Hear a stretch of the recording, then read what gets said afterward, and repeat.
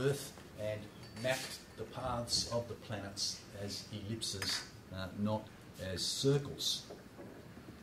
On this basis, then, they were able to make predictions. Predictions of where the planets would appear at certain dates and so forth, and lo and behold, these predictions, these predictions worked. Um, another example is uh, the Greeks, the natural philosophers, uh, considered it self-evident that heavier objects would fall faster uh, than lighter objects. And for thousands and thousands of years, uh, conclusions were deduced on the movement of objects through space uh, on the basis of this first principle that heavier falls faster uh, than lighter. Uh, Galileo used this revolutionary method, this new method of experimenting, testing, looking for evidence, trying to gather data, not just arguing about it from first principles, not using uh, deduction and, and, and, and, using logic, uh, but actually using experiments. And, of course, he famously demonstrated that they uh, freely falling bodies move at the same rate regardless of weight. Uh, following Aristotle, it was thought for centuries that men had more teeth than women. Every educated schoolchild knew that men had more teeth than women. It, it wasn't until three, three or four hundred years ago that somebody actually thought to look and, and to count to see whether or not uh, it, it, was the case. This method was just not deployed. The empirical methods were, were not deployed at that time. Another very important move that was made from the, the drift, the change from natural philosophy to what we now call science, is the deployment of mathematics and geometry. Until that point, the natural philosophers conducted themselves in natural language.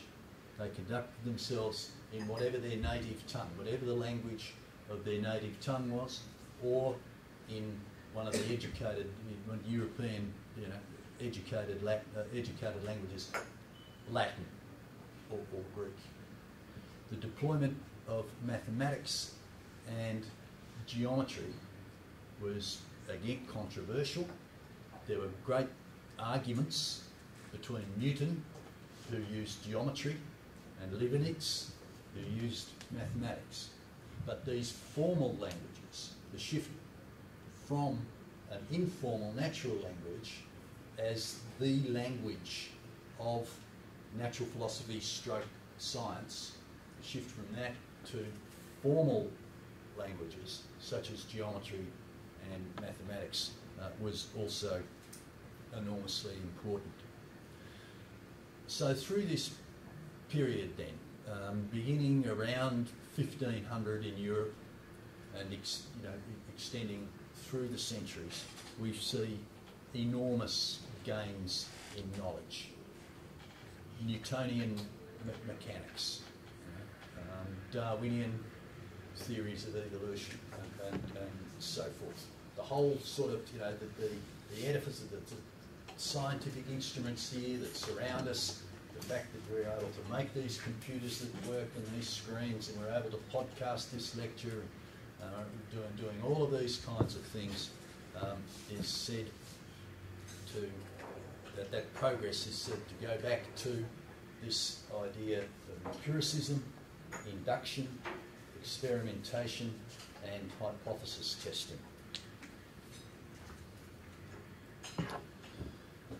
Now, come forward a little more and I'll give you the, uh, an illustration of a quintessential scientific group as differentiated from the natural scientists. This group are the logical positivists. The logical positivists, or sometimes called the logical empiricists because that they were very much empirical uh, in, in their approach, uh, were an early form of scientific realist, and I'll come in, in a, I won't get there today, but we'll come in another lecture to talk about scientific realism. They were most influential uh, in the early part of the 20th century. Uh, most of them lived in and around uh, Vienna. From 1920, from in the 1920s you know, or, or thereabouts, logical positivism was the epitome of a scientific approach. Logical positivism purified, characterised this new scientific approach. And they were influential uh, through to the 1950s and 1960s. Now, I, th- I, I think that they're still influential. I think logical positivism can be seen in, in contemporary scientific realism. Um, and a, a, lot of the language that we use in, uh, when we try to apply scientific methods uh, comes from the logical positivists. Um, however, their, their star was setting by the 1950s and 1960s. Logical positivists were very rigorous in their empiricism. They had no time whatsoever for interpretive work, they had no time for imaginative work, no time for theorising that was not based on evidence, not based on observation. Their view was that the scientist was a modest witness. This term was used. The scientist was very modest and simply witnessed nature. And it was nature that spoke. It was nature that told the truth. And the modest witness's job is simply to listen.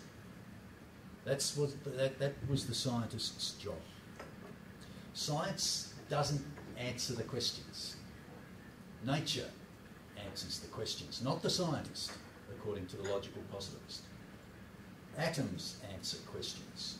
Rocks answer questions. Plants answer questions. The sun, in its behaviour, answers questions, not the people who are studying these things.